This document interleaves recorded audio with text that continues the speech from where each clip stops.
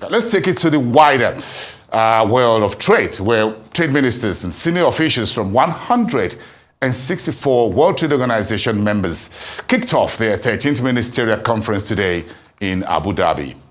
The four-day meeting, ending on Thursday this week, is focused on WTO reform, dispute resolution mechanism, e-commerce, trade and environment, among other challenging issues. Uh, let's listen out to Dr. Ngozi Okonjo-Iweala, the WTO Director General, as she opens the conference. Here at MC13, the WTO is welcoming its first new members in almost eight years, Timor-Leste and Comoros. We celebrate the hard work they have put in and the beneficial but challenging reforms they have implemented at home.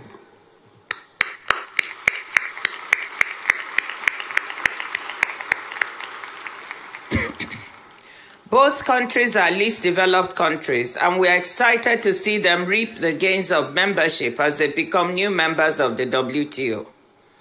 22 more countries are seeking to follow in their footsteps. Many of them are present here as observers, including a sizable contingent from the Arab world. The opportunities they see in WTO membership and their commitment to the demanding accession process stand as an answer to anyone who questions the value that the WTO provides. Comoros and Timor-Leste will bring the WTO to 166 members, and we look forward to adding to that number in the years ahead. Some additional good news is that the number of acceptances of the Fisheries Subsidies Agreement will reach 70 this week. Several ministers have brought their legal instruments with them to Abu Dhabi, and we will be celebrating them later today. MC13 has helped drive forward ratifications. With the 70 we'll have this week, we'll now have 40 members to go, so that the countdown towards entry into force can start now in earnest. Those members yet to ratify, I have a list of you. You know who you are. I hope you can work fast to help us allow entry into force by my birthday on the 13th of June of this year, which will also mark two years since MC12. When we succeed, it will be the fastest entry into force of any WTO agreement, and I know we will.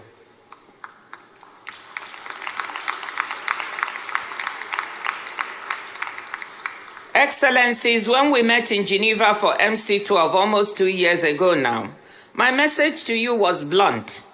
In keeping with my promise to bring a new pair of eyes and ears to the WTO, I told you what I was seeing and hearing from political and business leaders around the world. That the WTO needed to produce results, but expectations were very low that members could agree to anything. But you defied those expectations and beat the odds. You showed leadership. You invested political capital and you bridged gaps. You worked together to make MC12 a resounding success. Members delivered what was dubbed the miracle on Lake Geneva.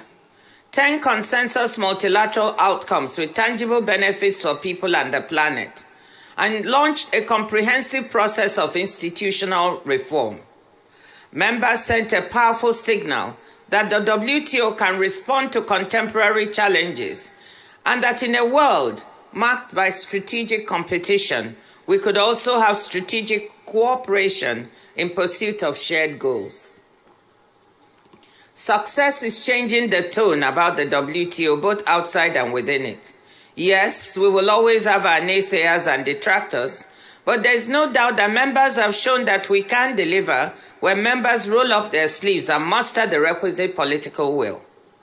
During the last several weeks, the atmosphere in our preparatory discussions in Geneva has been more constructive and conducive than it was in the run-up to MC12.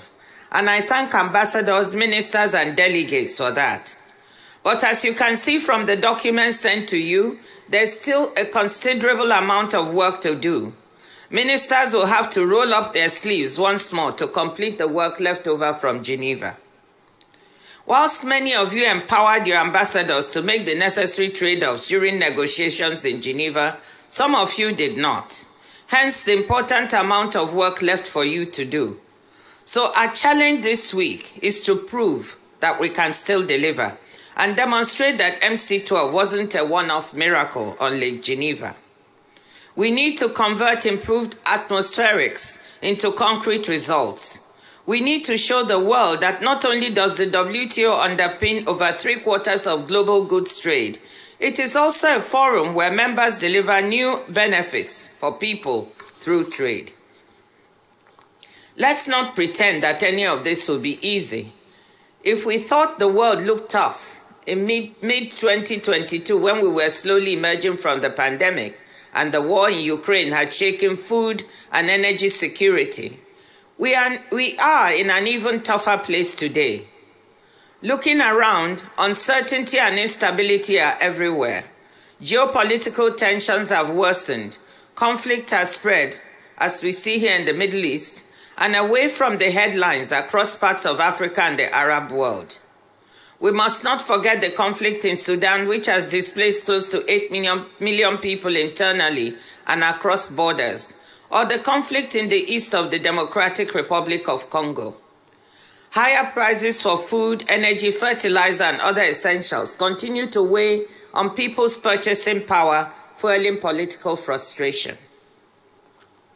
Shipping disruptions in vital waterways like the Red Sea and the Panama Canal a new source of delays and inflationary pressure, offering a real-time reminder of the risks posed to global trade and output by security problems and the climate crisis.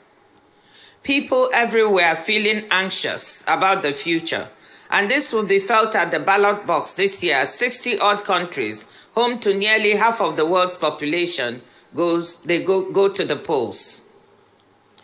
Economic growth has lost pace, though it held up better than expected, particularly in some major economies like the United States and India, resulting in a softer landing for the global economy than earlier anticipated.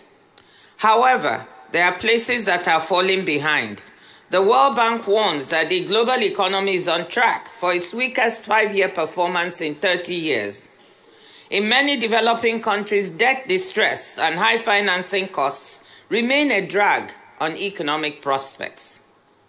The pandemic ended a roughly 25 year long trend during which, for the first time in centuries, poor countries began to narrow the income gap, separating them from rich ones.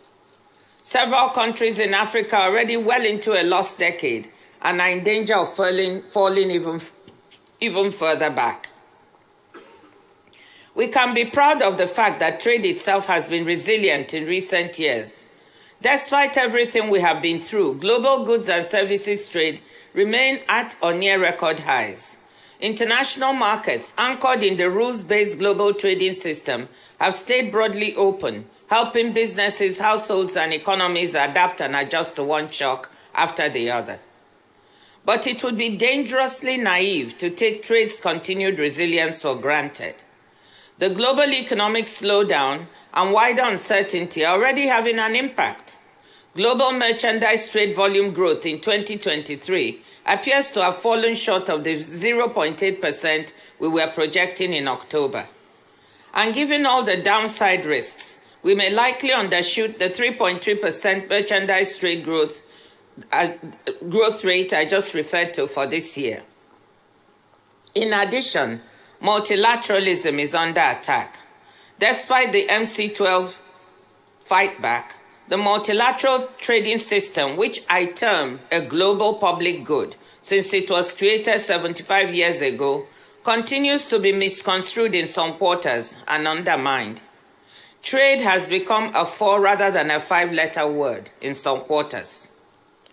Yet, trade remains critical to delivering on so many national and global priorities, boosting growth, expanding economic opportunities, meeting the sustainable development goals, and solving collective action problems like protecting our environment or preparing for the next pandemic.